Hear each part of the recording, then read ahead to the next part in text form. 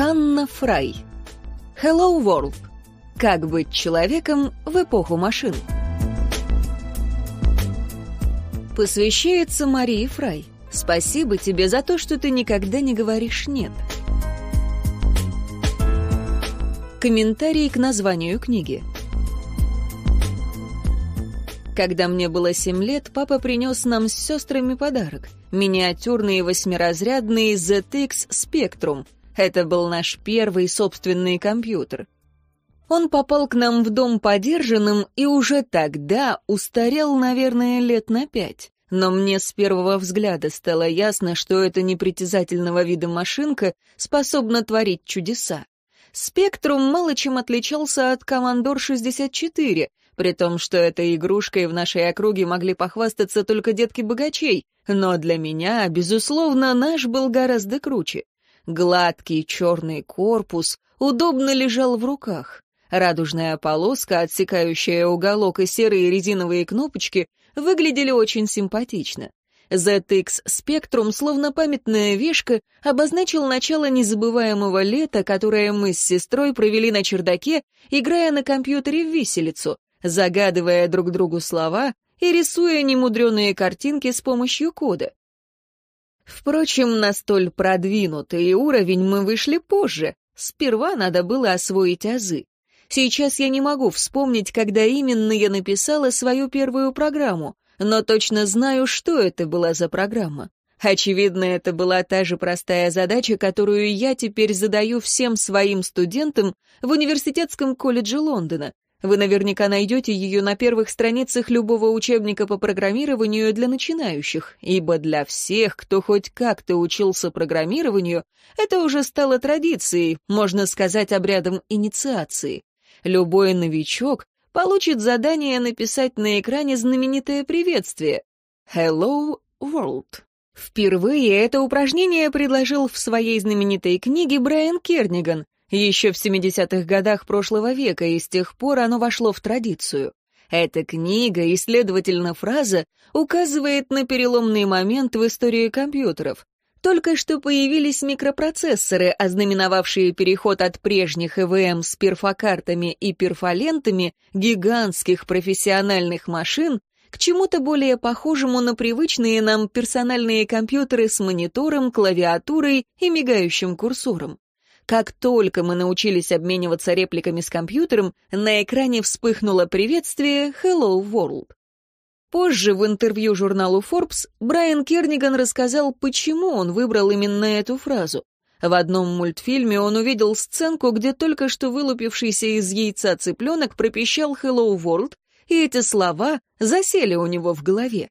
Не вполне ясно, что здесь должен символизировать цыпленок, энергичного юнца, радостно возвестившего о своем решительном старте в программировании, или сам компьютер, словно в полусне обрабатывавший таблицы и текстовые документы, и теперь получивший новый заряд бодрости, чтобы подключить свой разум к живому миру и приступить к выполнению приказов нового хозяина.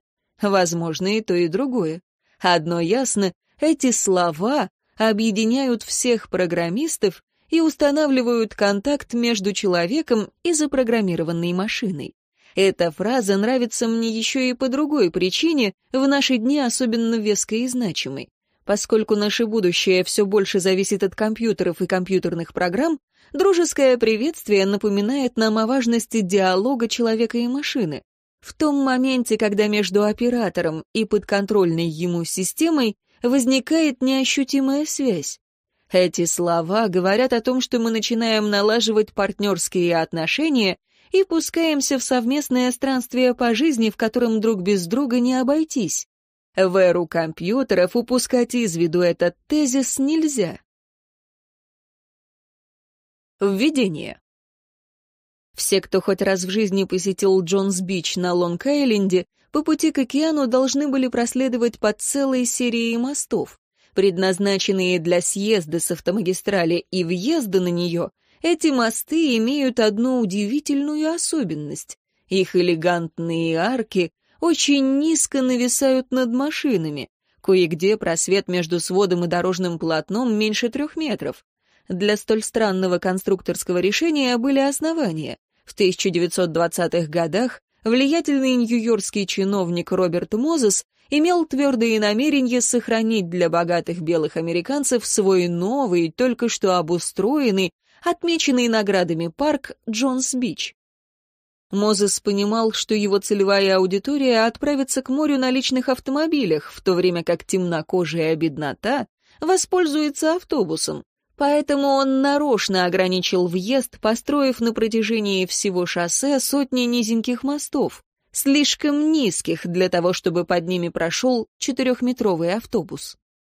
Но расистские мосты — не единственные бездушные немые контролеры, способные тайно управлять людьми. История знает множество случаев, когда предметы и технические инновации обретали власть, которой им на самом деле никто не давал.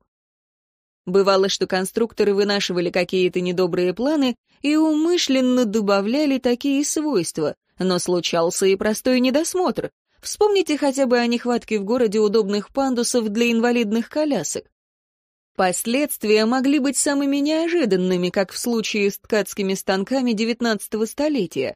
Эти машины создали для того, чтобы упростить производство тканей со сложным рисунком, а в итоге заработки, условия труда и занятость рабочих изменились так, что станки превратились в гораздо более жестоких эксплуататоров, чем любой капиталист в викторианской Англии. Не лучше обстоят дела и с современными изобретениями. Спросите жителей английского городка Скантер, по которым крупнейший интернет-провайдер AOL заблокировал аккаунты, потому что название города не удовлетворяло новому фильтру ненормативной лексики. Или нигерийца по имени Чуквуэмека Афигба, обнаружившего, что автоматический диспенсер жидкого мыла не реагирует на темную кожу, хотя аккуратно выдает положенную порцию на подставленные руки его белого друга. Или Марка Цукерберга, которому в 2004 году, когда он писал код новой соцсети Facebook в кампусе Гарвардского университета, и в голову не могло прийти, что его детище обвинят в содействии манипулированию выборами по всему миру. В основе каждого такого изобретения лежит тот или иной алгоритм. Ленты соцсетей и поисковики, спутниковая навигация, программы подбора музыки, все это и многое другое держится на алгоритмах, невидимых фрагментах кода, винтиках и шестеренках современных технологий. И в наши дни алгоритмы — это такая же неотъемлемая часть инфраструктуры, как и привычные мосты, дома и фабрики. Алгоритмы работают в больницах, залах судебных заседаний и автомобилях. Они используются в полиции, супермаркетах и на киностудиях. Они знают, что мы любим и что ненавидим, диктуют нам, что смотреть, что читать и с кем встречаться. И при этом они обладают тайной властью, вынуждая нас исподволь, почти незаметно для себя, менять представление о том, что значит быть человеком. В этой книге мы откроем для себя самые разнообразные алгоритмы, которым мы все больше доверяем, хотя порой и безотчетно.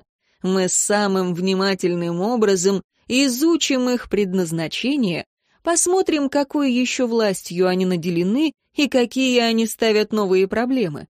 Мы увидим, по каким алгоритмам полицейские решают, кого следует арестовать, и нам придется выбирать, что для нас дороже — защита жертв преступлений или невиновность обвиняемых.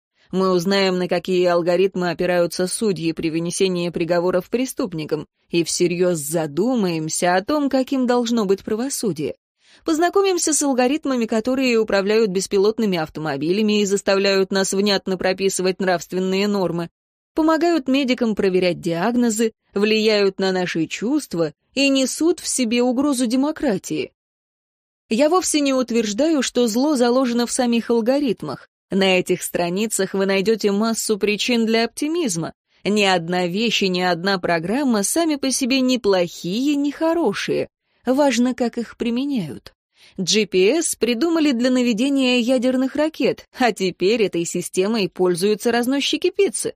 Поп-музыка на бесконечном повторе стала орудием пытки, и даже самой прекрасной цветочной гирляндой при большом желании можно задушить человека.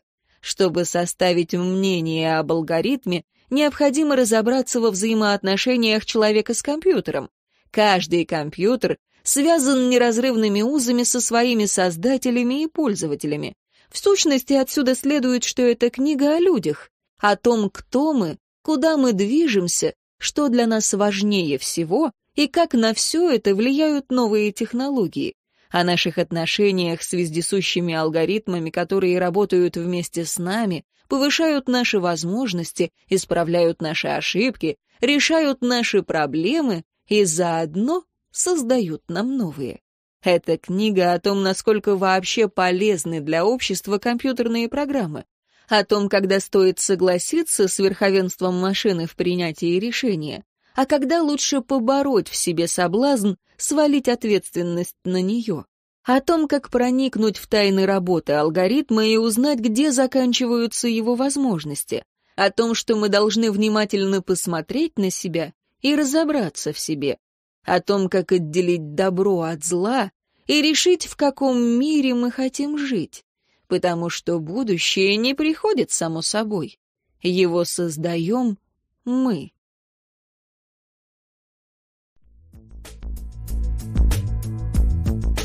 Власть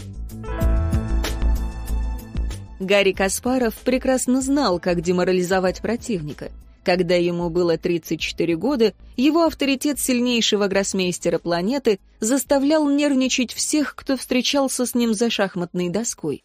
Вдобавок у него в арсенале был один особенно хитрый психологический прием, который наводил на соперников благоговейный ужас. В то время как они мучительно пытались выстоять, вероятно, в самом трудном матче за всю их карьеру, русский шахматист будто бы невзначай брал свои наручные часы, лежавшие рядом с доской, и надевал их на запястье. Этот жест все понимали однозначно. Каспарову наскучило играть в игрушки. Часы показывали сопернику, что пора капитулировать. Можно, конечно, еще посопротивляться, но все равно победа останется за Каспаровым. Однако в мае 1997 года во время исторического матча Гарри Каспарова и компьютера Deep Blue выяснилось, что на машину эти фокусы не действуют.